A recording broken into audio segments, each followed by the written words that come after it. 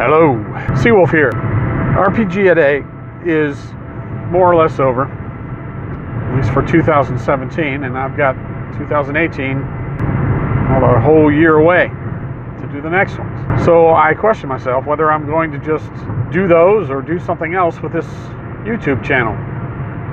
Do I have anything to contribute that's worth anything? I don't know. I could talk about a lot of things. I could talk about my RPGs and all my experiences and or I can talk about running games at a convention, whether it be a tabletop gaming convention or a science fiction convention, which is something I do quite a bit of. So I might do both of those in YouTube and talk about various topics in, in relation to that.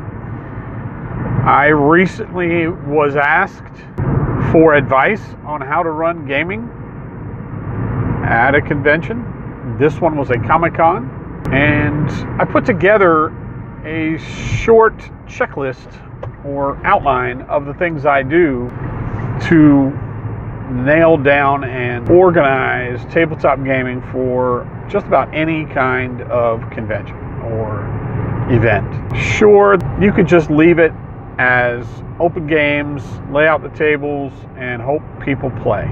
But without organized playing, there is no guarantee you're going to use that space given to you.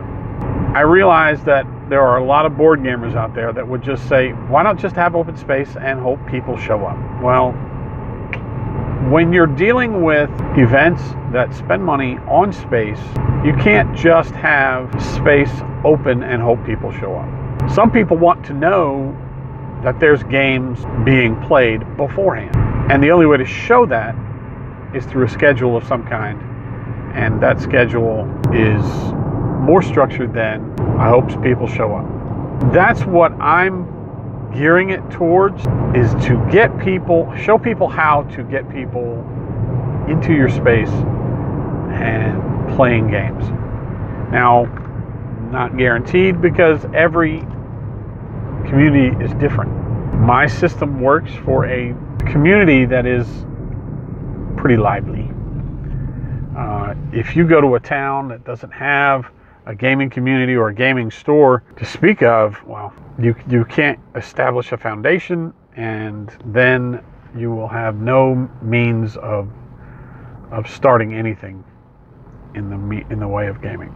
That's the kind of thing I want to talk about. I also want to talk about my, my games and the things that I've been doing. I'm involved in Fantasy Age Titan's Grave, finishing that up hopefully by the end of the year. And then I'm also involved in writing one shots. I've gotten into the habit of using Google Docs and just really laying out the plot line and the structured encounters for convention RPG games.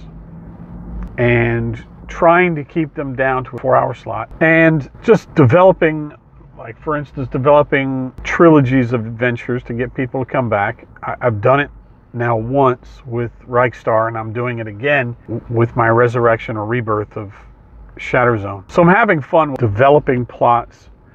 So i'm going to talk about that. I'm, I'm currently stuck in a dilemma and that's a whole nother subject that i'd love to get input on from anybody that wants to comment additionally i'm crafting i'm currently crafting uh, for my home game of Titan's Grave. Just crafted a large fort, and next I'm crafting an airship that I hope to post and show off. I'm not saying I'm the greatest crafter.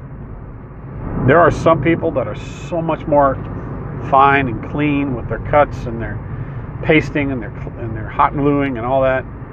Me, I, I, I make it work. Uh, I, I, I make it table ready. I'm going to show off some of my crafts at Mace with my Reichstar game and maybe maybe in the Shatterzone game i'm not so sure i still have to play test that and if there are crafts i i have to finish those and the and the only time i can do these videos is when i'm driving from or to work so whatever i show off will be taken pictures and I will overlay them in the video. So this will be Seawolf's Den YouTube channel. I hope it is at least somewhat interesting. So until next time, seek the wolf in thyself.